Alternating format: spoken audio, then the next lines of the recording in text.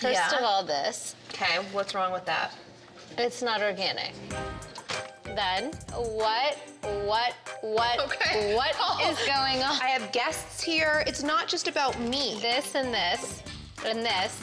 What? Now I can't even eat your fruit here because I'm not gonna trust it. Are you joking? I dissect your closet, she dissects your fridge. It's all organic. Kim, don't sit like that. Your boobs are so huge. Yeah, but they're so awesome. Well, anyway, I called Kourt the other day because I got woken up because you know how like I'm kind of like psychic. Ish. Mm-hmm. Yeah, psychic. Psychic-ish. The other day when I was sleeping, something woke me up. It whispered in my ear. It was going, Khloé, Khloé.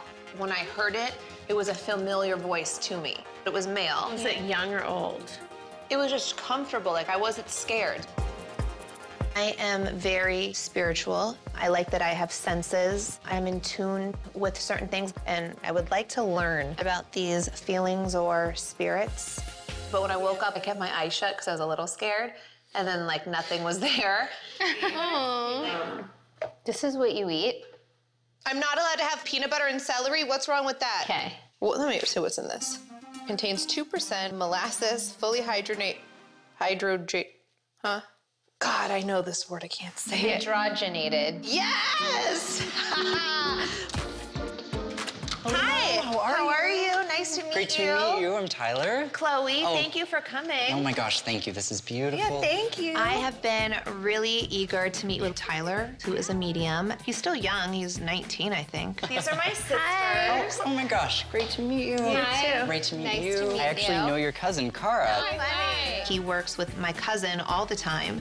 So I feel like there's a family connection and almost it's like cosmic that I'm supposed to be meeting with him. The general idea of how I do what I do is that I actually work as a clairvoyant, so I see information. Mm-hmm. Um, as opposed to audibly hearing it, I get visuals. Did you always know that you had like a gift? When I was 10 years old, my grandmother was ill with terminal cancer, and as she was getting really ill, I woke up one night and knew she was going to pass. And we got the call two minutes later that my grandmother had passed. Oh my God, wow. And so that's kind of a, was a, a pretty dramatic moment, but I believe we all have an intuition, Mm-hmm. but to varying extents. She always tells me she's psychic. Well, I don't think I like could read her palm, but I have a very great intuition. Sure. And I feel energies and Right. spirits really well. And I'm not saying like, oh my God, there's a ghost in the corner. Right, right, right. But I know when I feel something, and I like pay that respect. I think our tuition is almost like a compass that we have inside of us, and if we go with it, it can really drastically improve our life. So. And if I haven't like how you see things or whatever, if I, that hasn't happened to me yet, like, would that never happen to me? It's one of those things that you don't have to embrace, but if you chose to embrace it and chose to kind of connect and not be afraid of it, that's the Mm-hmm. Right. biggest thing. Fear is the quickest way to shut something down. You definitely do have that really keen intuition.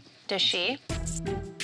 I would say both of you, out of you two, probably the strongest for you two.